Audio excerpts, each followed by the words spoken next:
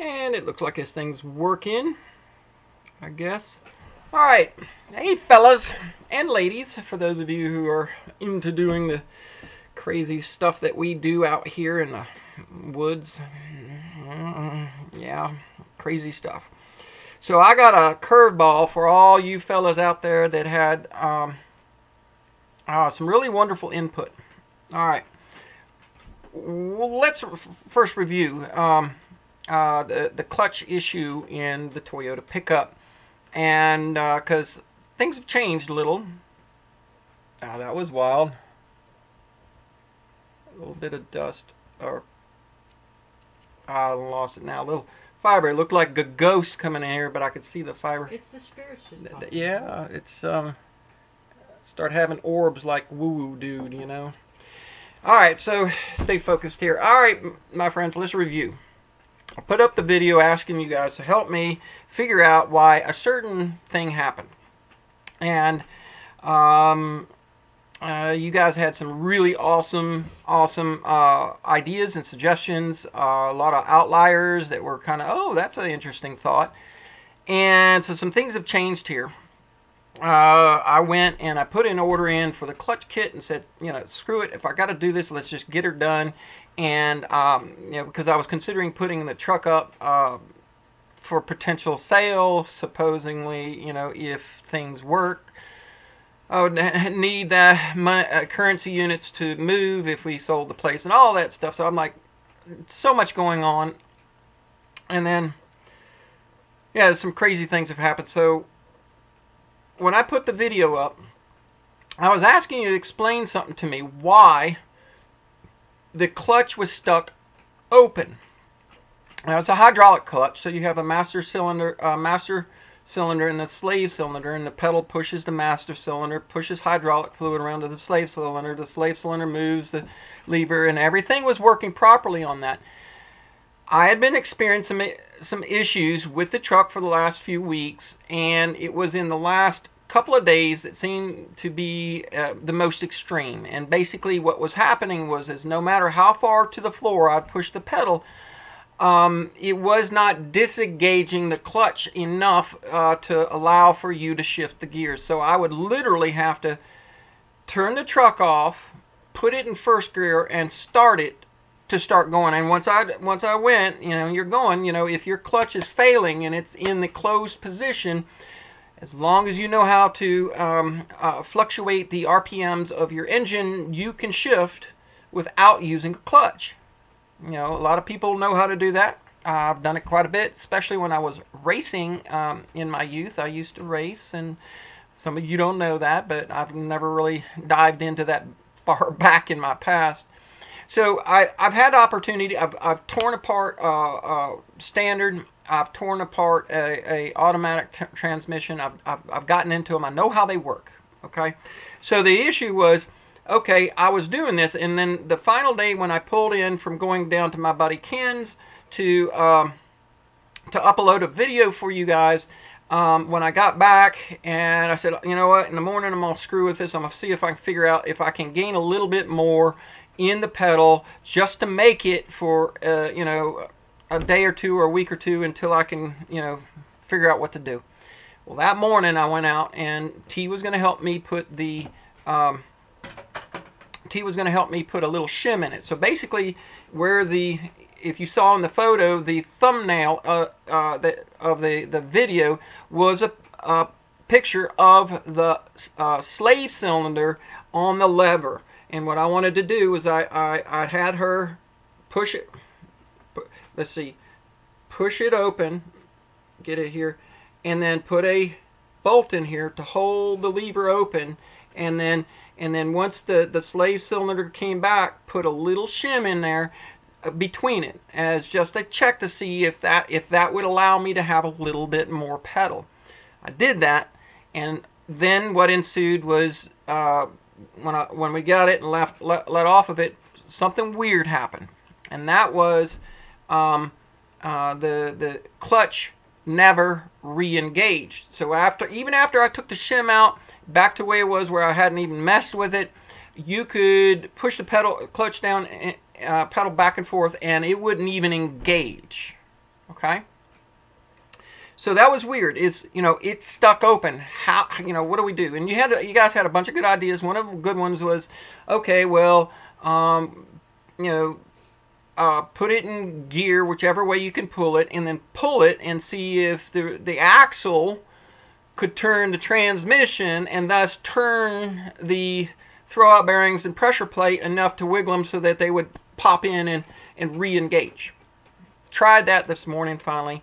Uh, didn't get to it because I was real busy uh, doing the video with you uh, with Billy yesterday and then helping Robert with the, the, the sawmill and the woods and all the things that I've been doing. I've been busy. So I finally did that this morning and it didn't work. Um, I tried to pull it back. Well, I pulled it on out to where I could face it up the other way, and the idea was this. Okay, um, my buddy Ken says, it's kind of messy. Uh, um, you want to use my garage to do the work on the transmission? I said fine. So I went over there, and plus uh, I needed to, I wanted to wash it because I hate working on stuff that's dirty and muddy. So let's we sprayed everything down, pressure washed it, cleaned it all up, and we're out there. You know, of course, T and I had towed it um, with, with my buddy's truck. He let me use it, so we, we took a strap and towed it about a mile down the road to Ken's place, and we're washing it. And we get it all clean, and we let it sit there and drip dry. Took a few pictures while it was nice and clean, and I'm, I'm going, okay, um, I've called uh, O'Reilly's. I've got the part on order, and that's what you see in the thumbnail of this video. Um, the um, the, the, the picture on, on the video was the, the clutch kit. It's ordered and it should be here in the morning. Now, gentlemen, here's the real curveball because I'm going to throw another real loop at you. The thing was stuck in the open position, right? So for whatever reason, plate and uh, pressure plate and throwout bearings, all that would not re-engage the flywheel which is weird because if it fails, it's supposed to fail closed, not open. So if you got that, so is the springs worn or whatever? That was a big question.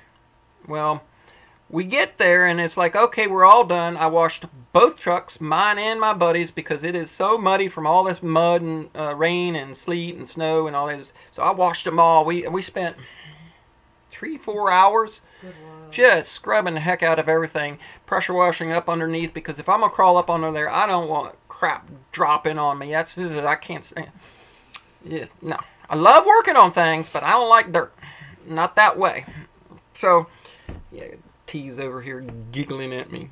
And uh, so here we go. Uh, Ken's like, okay, let's push it into the garage. So we're moving things and we're getting ready to push it. And he and he looks at it and and, and he says, you know, forget what he said, but he, he, he went in and he says, that pedal is not coming up high enough. I said, what do you mean? It, it's coming all the way up. I, th I think it is. And he said, no, no, the, the, the pedal should be coming back. I said, well, that should, you know, that would make sense for one thing, but he says there's adjustment screw, and he was thinking that I should be able to adjust the screw. So for those of you who understand, on the pedal, when you push down on the pedal, there's a screw, adjustment screw, that connects to the uh, push rod for the um, uh, uh, for for the master cylinder. So when you push down on the pedal, it pushes that push rod, and there's a bolt there. And I had already adjusted that some many months ago to get a little bit more pedal in it for uh, short stuff over here. Because hey now. so we did that. I'd already adjusted that thing, and um, it, I didn't. I, I'm kind of at the end of the threads on that, so I don't have a whole lot more adjustment for that, right? And he said, "Well, there's a you know there's another screw here." And I said, "Well, okay. Well, there's a, this other screw on the upper frame here, so when the pedal comes back, it catches that and it stops the pedal from coming all the way up. So it stops the travel on the upside, which would." um, uh, you know, for when you let off the clutch, I guess give you more room to let off of it. Okay. So I saw that and I said, well, that doesn't make sense. And the pedal wasn't all the way up, so I went ahead and I backed that, you know, went down in there and God, that was tight.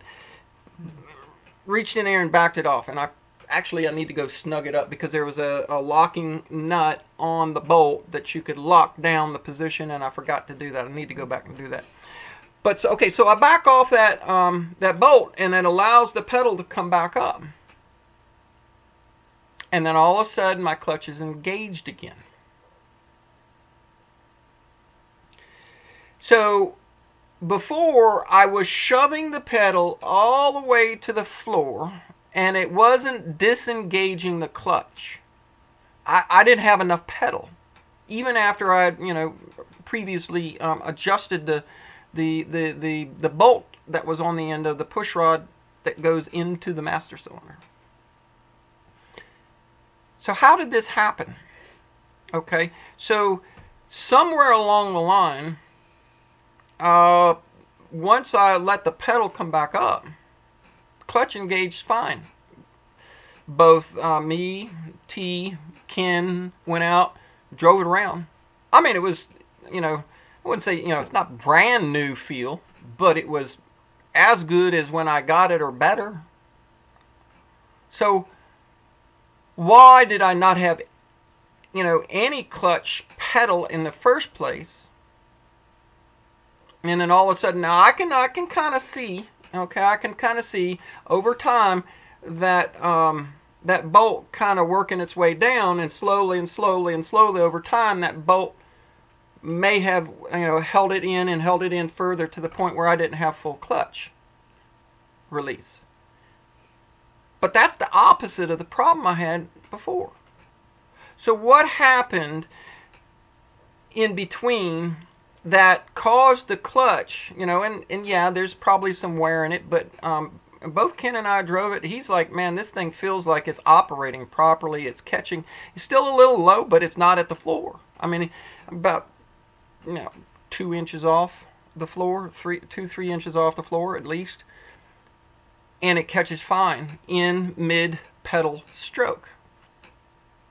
So now the pedal can come up further which engages the um, clutch, which would explain that. But that bolt didn't go overnight get cranked all the way down. If somebody did, that'd be a hell of a joke to play on somebody, wouldn't it? uh, but I don't know. All right, so as it stands, uh, we got got the trucks washed up and then we brought them back from Ken's place. So the, the Toyota's sitting here and I can hop in, in it and turn it on and, and boom, drive right on down, travel, travel right on down the road. Clutch feels good. Actually feels, felt real good when I started, you know, getting on it a little bit. I put a little pressure on it and didn't have a problem. So explain to me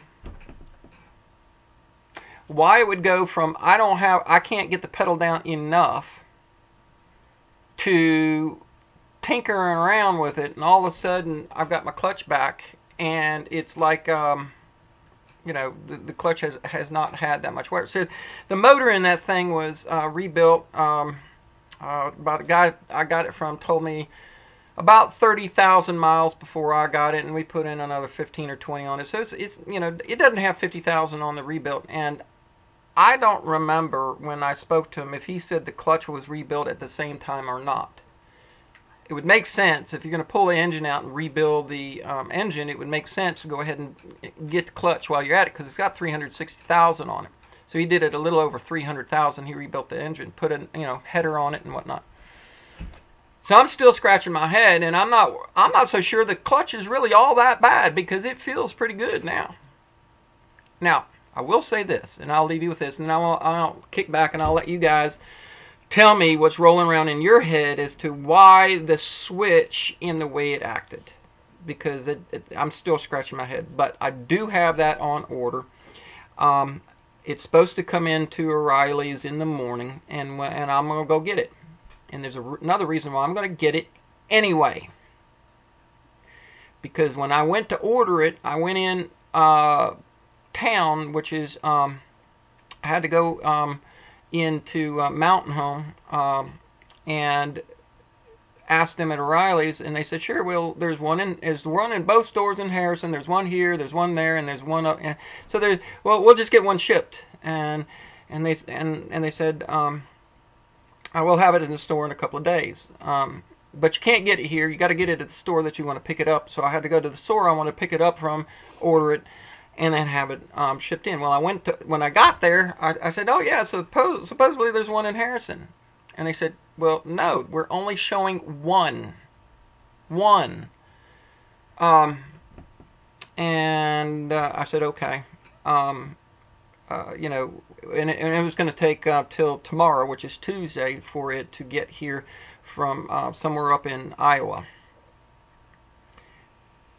Supply chain issues. When we got the truck, I immediately bought a new set of tires for all four, brand new, all around there sitting in storage. I got new hoses. I got new um, uh, I got a power steering hose that needs to be replaced. The one's still working. It's just a tiny you know, oiliness around it like it needs to be replaced, but I got it.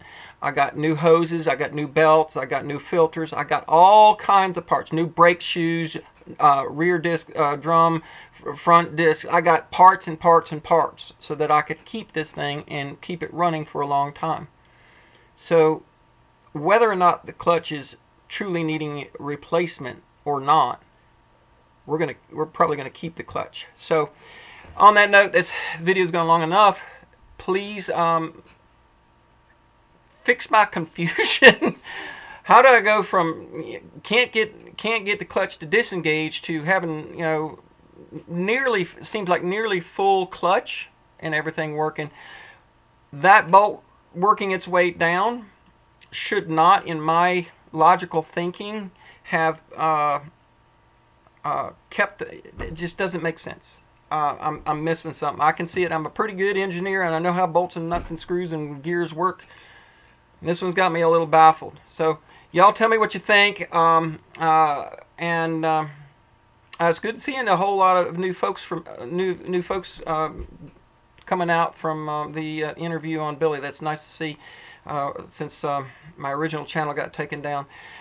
Y'all be blessed, and I'll meet you in the comment section. Take care. Bye-bye.